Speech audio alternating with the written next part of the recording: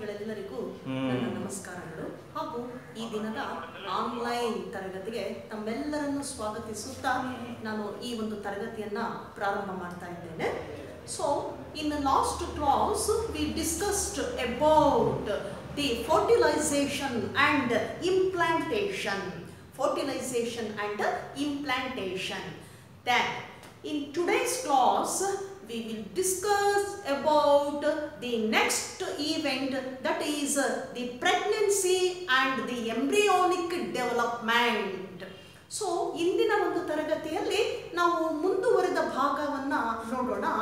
ಯಾವುದದು ಕಾನ್ಸೆಪ್ಟು ಅಂದಾಗ pregnancy and the embryonic development before that I recall once the fertilization and implantation So, after the fertilization, that is a fusion of both male and female gametes, the site uh, for fertilization is that is the the ampullary isthmic uh, junction of the uh, uterus ಅಂತ ಕರಿತೇವೆ so ಎಲ್ಲಿ ನಡೆಯುತ್ತಿದ್ದು ಅಂದಾಗ in between the ampulla and isthmic part of the uterus of the ovary ಅಂತ ಕರಿತೇವೆ nothing but uterus in female human so that junction ampullary and isthmic junction where the egg already reaches to that point. By that time so the intercourse or coitus takes place then release of semen that is insemination then the sperms move towards the egg and only one sperm can fuses with egg then that brings the next event that is fertilization fusion ಆಗಿದ ತಕ್ಷಣ ಏನು ಕೊಡುತ್ತೆ ಅದು ಮುಂದಿನ event ಅನ್ನ ಕೊಡುತ್ತೆ ಆ event ಅನ್ನ ನಾವು ಫರ್ಟಿಲೈಸೇಷನ್ ಅಂತ ಕರಿತೇವೆ define fertilization fertilization nothing but fusion of it is a process in which fusion of the sperm with egg is called as fertilization.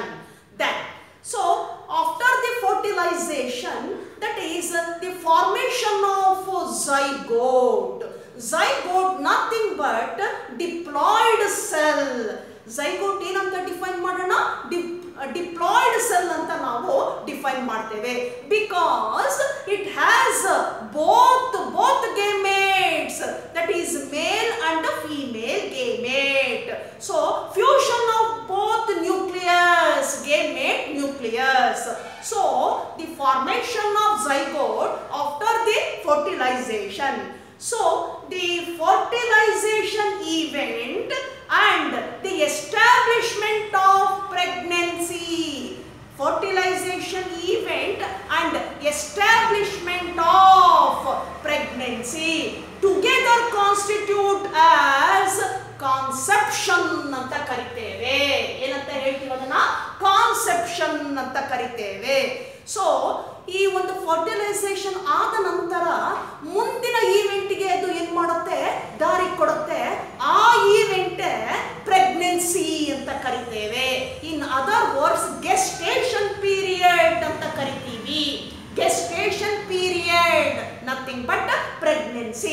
So that zygote after the fertilization, so it undergoes mitotic cell division give rise uh, two cells, four cells, then 8 celled stage, then 16 celled stage, then the 32 celled stage.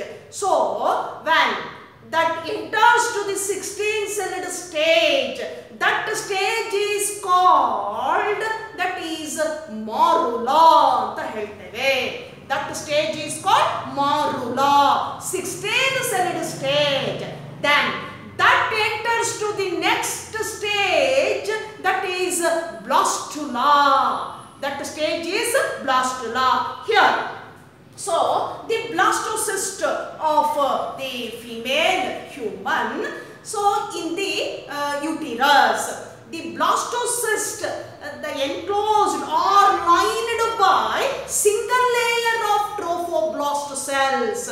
So inside the cavity is called blastocele. Then the inner cell wall at the anterior part of the blastocyst, then that uh, developed into an embryo in the next event, in the further development. ಆ inner mass ಏನು ಕೊಡುತ್ತೆ? ಮುಂದೆ embryo ಆಗಿ ಏನಾಗುತ್ತೆ ಅದು develop ಆಗ್ತಾ ಹೋಗ್ತದೆ. So the attachment of blastocyst into the uterine cavity uterine wall inner wall of the uterus that is nothing but endometrium ಅಂತ ಕರಿತೇವೆ. So the attachment of blastocyst to the inner wall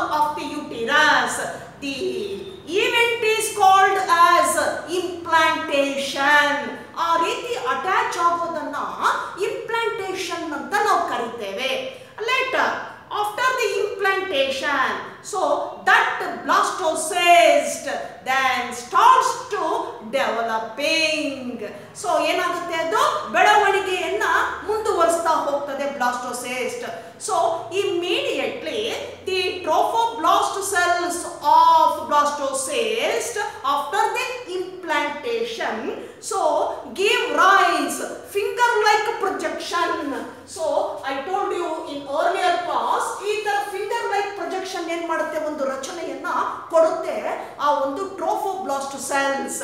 So this projection, finger-like projection structure is called nothing but chorionic villi. Chorionic villi.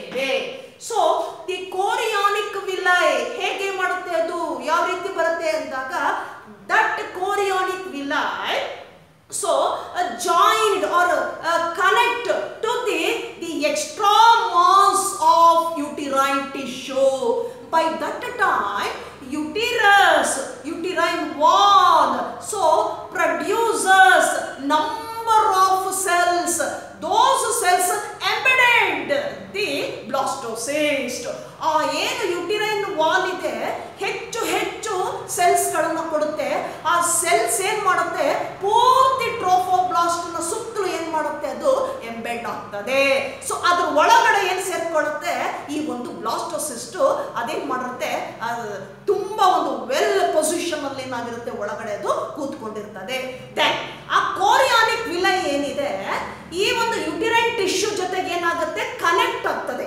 So the ಕೋರಿಯಾನಿಕ್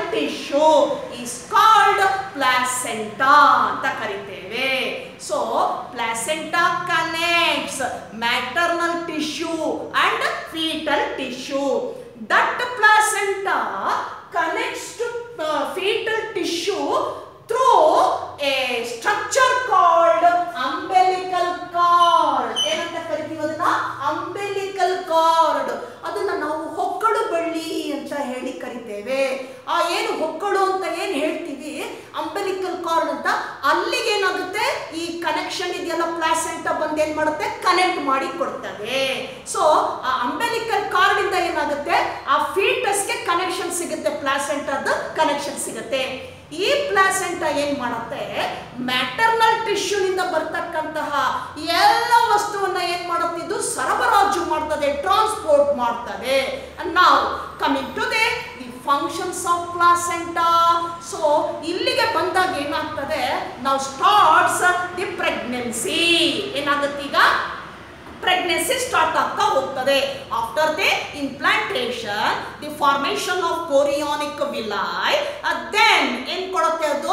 That connects to uterine tissue making a new structure called placenta so now starts the pregnancy period so pregnancy nothing but gestation period ಅಂತ ಕರಿತೇವೆ.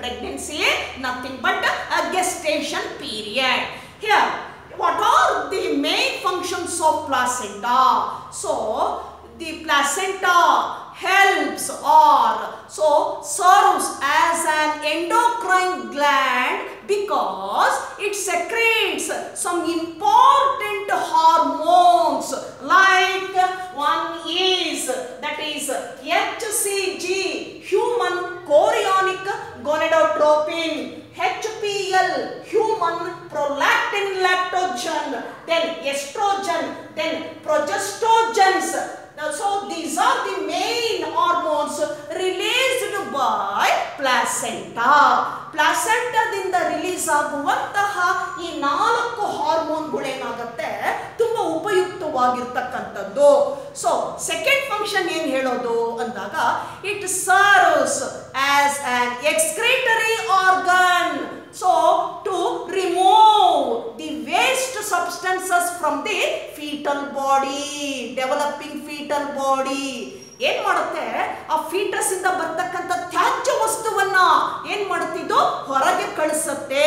ಎಲ್ಲಿಗೆ? Maternal ಟಿಶ್ಯೂಗೆ ಕಳಿಸ್ಕೊಡ್ತಾ ಬರುತ್ತೆ.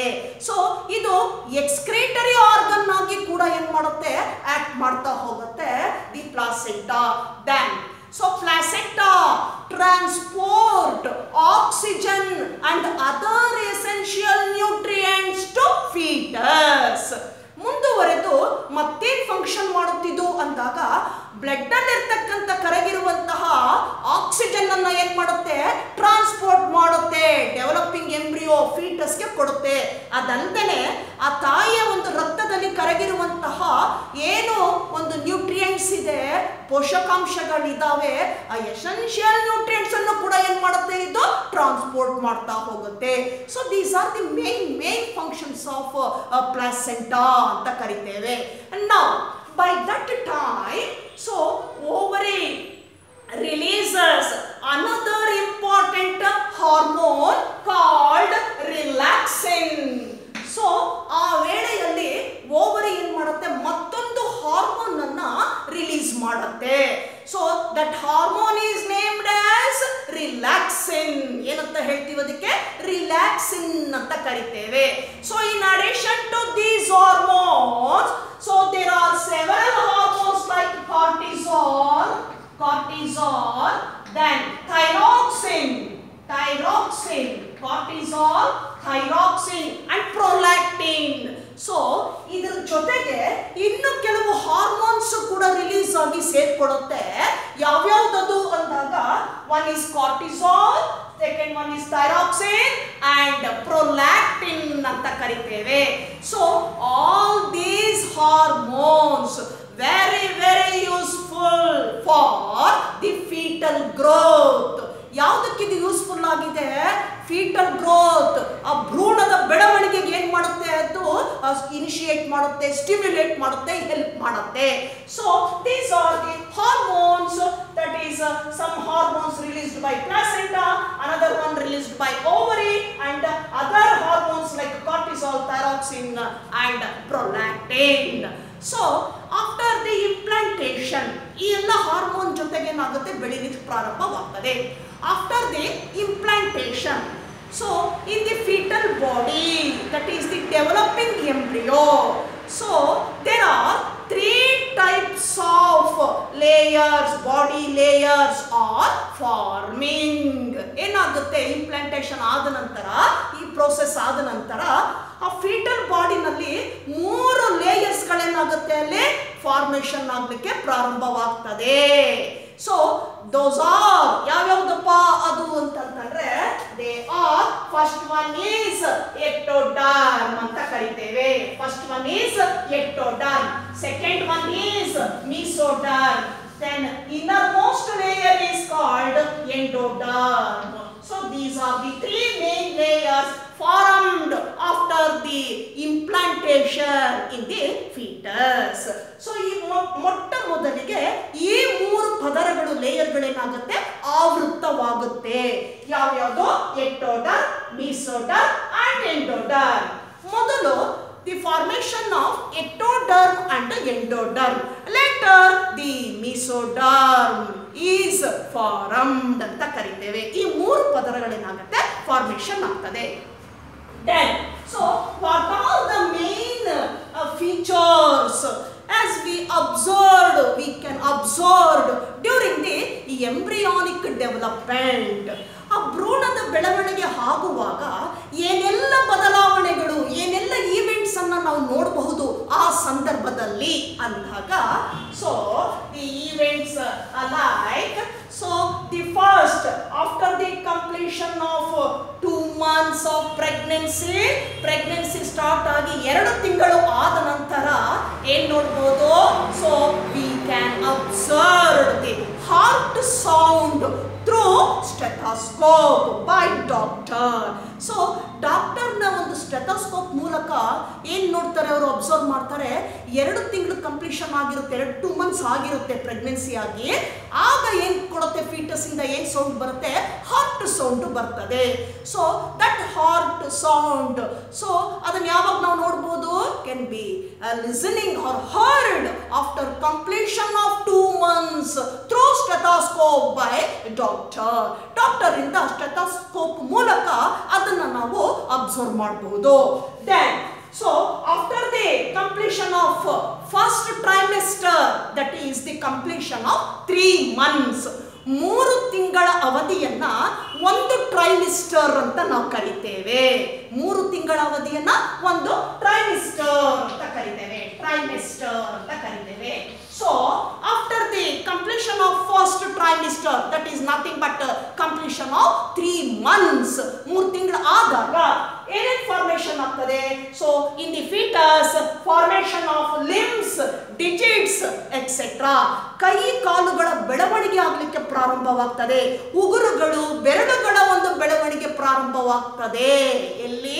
ಆ foetus ಅಲ್ಲಿ. ಬೆರಳುಗಳು, ಕೈ ಕಾಲುಗಳೇನಾಗುತ್ತಲ್ಲೇ? ಬೆಳವಣಿಗೆ ಹೊಂದಲಿಕ್ಕೆ ಪ್ರಾರಂಭವಾಗುತ್ತೆ. ಮೂರು ತಿಂಗಳ ಪ್ರೆಗ್ನೆನ್ಸಿ ಆದಾಗ. So here the gestation or pregnancy period is about nine months and seven days ಎಷ್ಟಿರುತ್ತೆ ಪ್ರೆಗ್ನೆನ್ಸಿ ಅಥವಾ ಗೆಸ್ಟೇಷನ್ ಪೀರಿಯಡ್ ಅಂದಾಗ ಒಂಬತ್ತು ತಿಂಗಳು ಮತ್ತೆ ಏಳು ದಿನಗಳು ಅಂತ ಕರಿತೇವೆ.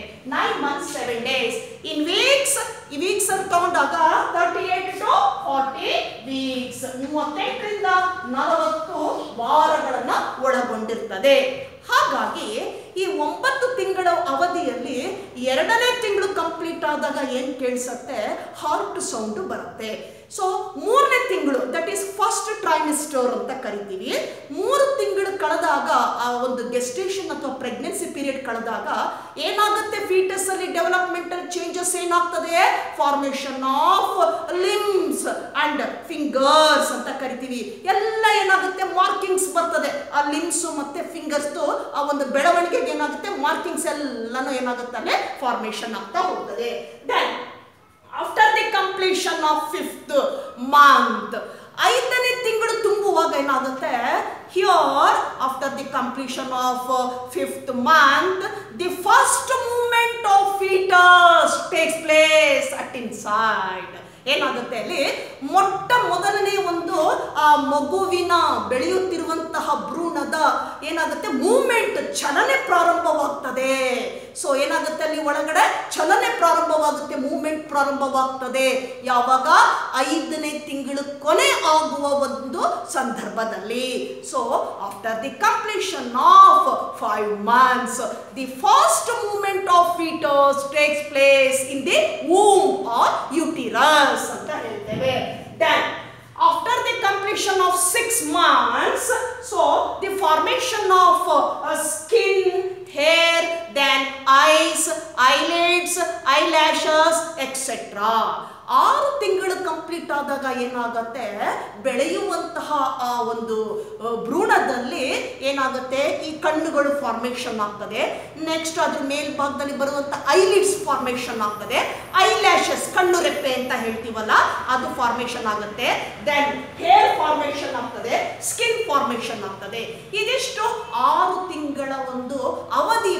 ಒಳಗೊಂಡಾಗ ಬೆಳವಣಿಗೆಯ ಒಂದು ಹಂತಗಳು, ಯಾವ್ಯಾವ ಆರ್ಗನ್ಸು ಬೆಳೆಯುತ್ತೆ ಅಂತ. ಹೇಳಿ ಅಂತ so in the first the two two months or the first one and half month completion of one and half month duration or gestation period here So the formation of ectoderm, endoderm after the completion of implantation, formation of ectoderm, endoderm and mesoderm. Here, so we noticed one important characteristic feature that is the inner cell mass contained the special type of cells called stem cells.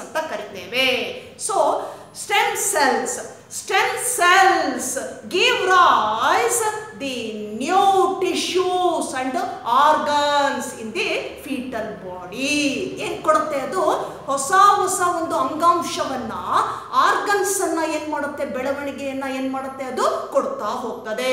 So those specialized cells are called stem cells present in the inner cell mass of the blastocyst Then coming to the, the after the completion of six months, that is the formation of skin, then the formation of hair and the formation of eyes, etc., etc. Then after the completion of nine months, so entire development of the uh, fetus is completed. Now the, that fetus ready to parturition, ready to delivered. ಏನಾಗುತ್ತೆ ಅದು delivery ಆಗ್ಲಿಕ್ಕೆ ಏನಾಗಿರುತ್ತೆ ready ಆಗಿರುತ್ತದೆ so this is the brief summary of a pregnancy then the placenta functions of placenta then the main characteristic features appeared during the the develop embryonic development then We move on to the uh, next event. Next event. That one is perturbation. Next event, perturbation. So define perturbation or what is the meaning of perturbation? Perturbation is a process that is, it is defined as the process of childbirth is called parturition. ಏನಂತ ಹೇಳ್ತೇವೆ ಅದನ್ನ process of childbirth is called parturition. Delivery ಅಂತ ಹೇಳ್ತೇವೆ. So during the parturition so a signal, a signal is uh, stimulated by fetus and placenta. ಏನಾಗ್ತದೆ? ಒಂದು signal ಪ್ರಾರಂಭವಾಗುತ್ತೆ. So that signal stimulated from the fetus and placenta fetus ready ಇದೆ delivery ಆಗಲಿಕ್ಕೆ. ಆ fully developed ಫೀಟರ್ಸ್ ಏನಿದೆ? ಅಲ್ಲಿಂದ ಮತ್ತೆ connection ಏನಿದೆ? Placenta ಎರಡರಿಂದ ಏನಾಗುತ್ತೆ? ಸಿಗ್ನಲ್ ಬರಲಿಕ್ಕೆ ಪ್ರಾರಂಭವಾಗ್ತದೆ. So by that time severe contraction that is the light, light contraction of uterine wall takes place. So, by that time, immediately pituitary releases a hormone called oxytocin. Oxytocin. So, this hormone released from the uh, pituitary that stimulates the severe contraction of uterine wall ಏನ್ ಮಾಡುತ್ತೆ? Oxytocin ಆ, ವೇಳೆಗೆ ಏನಾಗುತ್ತೆ? ಪಿಟಿಟರಿಯಿಂದ release ಆಗಿ ಬರುತ್ತೆ ಒಂದು hormone ಈ hormone ಏನ್ ಮಾಡುತ್ತೆ? ಸ್ಟಿಮ್ಯುಲೇಟ್ ಮಾಡುತ್ತೆ ಕಾಂಟ್ರಾಕ್ಷನ್ ಅನ್ನ. ಯುಟಿರೈನ್ ವಾಲ್ ಏನಾಗುತ್ತೆ? ಹೆಚ್ಚು ಹೆಚ್ಚು ಒತ್ತಡಕ್ಕೆ ಹೋಗಿ ಏನ್ ಮಾಡುತ್ತದು ಕಾಂಟ್ರಾಕ್ಷನ್ ಮಾಡಲಿಕ್ಕೆ ಪ್ರಾರಂಭ ಮಾಡ್ತದೆ. So that contraction stimulated by the oxytocin hormone ನಾವು ಅಲ್ಲೇನಾಗ್ತದೆ? ಒಂದು ಇಜೆಕ್ಷನ್ ಫಾರ್ಮ್ ಫಾರ್ಮೇಷನ್ ಆಗ್ತದೆ that is called foetal ejection reflex that is the formation of a reflex condition that condition is said to be fetal ejection reflex it means the stimulation of oxytocin brings severe contraction of uterine walls this contraction repeats ಏನಾಗುತ್ತೆ ಇದು? Repeat ಆಗ್ತಾ ಇರ್ತದೆ. So the repeated contraction of uterine wall so by the stimulation of oxytocin that brings a reflex called the fetal ejection reflex ಏನಂತ ಹೇಳ್ತೀವಿ ಅದನ್ನ? Fetal ejection reflex ಆ oxytocin ಏನ್ ಮಾಡುತ್ತೆ? ಈ ಯುಟಿರೈನ್ ವಾಲ್ ಇದೆಯಲ್ಲ, ಆ uterine wall contraction nothing but the middle layer of uterus that is myometrium ಮಧ್ಯದ ಲೇಯರ್ ಏನಂತ ಕರಿತೀವಿ? ಮಯೋಮೆಟ್ರಿಯಂ ಅಂತ ಕರಿತೀವಿ. ಸಿವಿಯರ್ ಸಿವಿಯರ್ ಕಾಂಟ್ರಾಕ್ಷನ್ಗೆ ಹೋಗುತ್ತದು. ಹೆಚ್ಚು ಹೆಚ್ಚು ಏನ್ ಮಾಡುತ್ತೆ? ಸಂಕುಚಿತಗೊಳ್ತಕ್ಕಂಥದ್ದು, ಹಿಗ್ಗೋದು, ಸಂಕುಚಿತಗೊಳ್ಳೋದು. ಈ ರೀತಿ ಮಾಡಲಿಕ್ಕೆ ಪ್ರಾರಂಭವಾಗುತ್ತೆ. ಯಾವುದರಿಂದ? ಆಕ್ಸಿಟೋಸಿನ್ ಹಾರ್ಮೋನ್ ಇಂದ ಇದು ಏನಾಗುತ್ತೆ? ಒಂದು ಪೀಕ್ ಲೆವೆಲ್ಗೆ ಹೋಗುತ್ತೆ ಅದು. ಆ ಕಾಂಟ್ರಾಕ್ಷನ್ ಏನಾಗುತ್ತೆ? Reaches to peak level severe contraction of uterine wall ಈ ಒಂದು ಕಾಂಟ್ರಾಕ್ಷನ್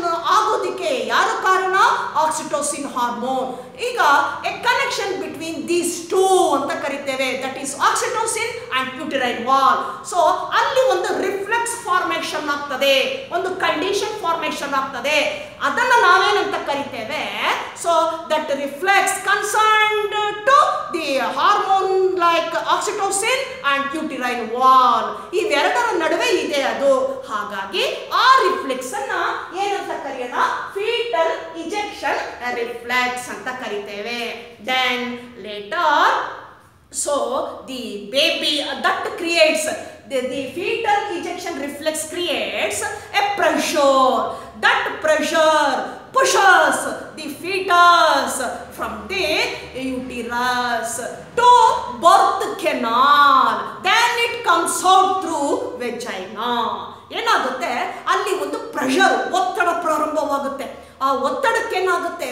ಒಳಗಡೆ ಇರ್ತಕ್ಕಂತಹ, ಉಂಬಲ್ಲಿರ್ತಕ್ಕಂತಹ ಯುಟಿರಸ್ ಅಲ್ಲಿರ್ತಕ್ಕಂತಹ ಫುಲ್ಲಿ ಡೆವಲಪ್ಡ್ ಫೀಟರ್ಸ್ ಬೆಳೆದಿರ್ತಕ್ಕಂತಹ ಭ್ರೂಣ ಮಗು ಏನಾಗುತ್ತೆ? ಆ ಒತ್ತಡಕ್ಕೆ, ಆ ರಭಸಕ್ಕೆ ಏನಾಗುತ್ತೆ ಆ ಒಂದು ಹೊರಗಡೆ ಇರ್ತಕ್ಕಂತಹ ಏನೋ ಒಂದು ಇದಿದೆ, ಒಂದು ಮೆಂಬ್ರೇನ್ ಇದೆ. ಆ ಮೆಂಬ್ರೇನ್ ಏನಾಗುತ್ತೆ? ಅದನ್ನ ಬ್ರೋಕ್ ಆಗ್ಬಿಟ್ಟದು. ಅದು ಅದು ಎರಡು, ಅದೇನಾಗುತ್ತೆ? ಬ್ರೇಕ್ ಆಗುತ್ತೆ. ಅದು ಬ್ರೇಕ್ ಆಗಿದ ನೆಕ್ಸ್ಟ್ ಏನಾಗುತ್ತೆ? ಅದು comes out through the birth canal to vagina ಆ ಬರ್ತ್ ಕೆನಾಲ್ ಮುಖಾಂತರ ಏನಾಗುತ್ತೆ? ಹೊರಗಡೆಗೆ ಬರ್ತದೆ. So that that process that is the process of child birth is called parturition ಅಂತ ಕರಿತೇವೆ. ಇದನ್ನೇ ನಾವು ಪಾರ್ಚುರೇಷನ್ ಅಂತ ಹೇಳ್ಬಿಟ್ಟು ಕರಿತೀವಿ so coming to the ah last point that one is a lactation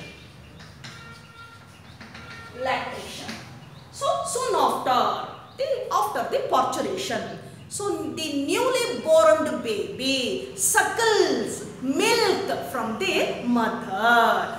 By that time during the parturition, so the mammary glands of female human already uh, secreted milk or stored milk for the newly born baby. ಏನ್ ಮಾಡುತ್ತೆ? ಆ ವೇಳೆಗಾಗ್ಲೇ ಆ memory glands ಅಲ್ಲಿ ಏನಾಗಿರುತ್ತೆ? Alveolar part ಅಲ್ಲಿ milk ಏನಾಗಿರುತ್ತೆ? Ready ಆಗಿರುತ್ತೆ store ಆಗಿರುತ್ತೆ ಸೆಕ್ರೆಟ್ ಆಗಿಬಿಟ್ಟು ಸ್ಟೋರ್ ಆಗಿರ್ತದೆ. ಸೊ ಈ ಯಾವಾಗ ಮಗು ಹುಟ್ಟುತ್ತೋ, ಹುಟ್ಟಿದ ತಕ್ಷಣ ಏನಾಗುತ್ತೆ? ಆಕ್ಷನ್ ಸ್ಟಾರ್ಟ್ ಆಗ್ತದೆ. That is suckling action from the newly born baby so that suckles milk from the mammary glands so that process is called as uh lactation ಅಂತ ಕರಿತೇವೆ.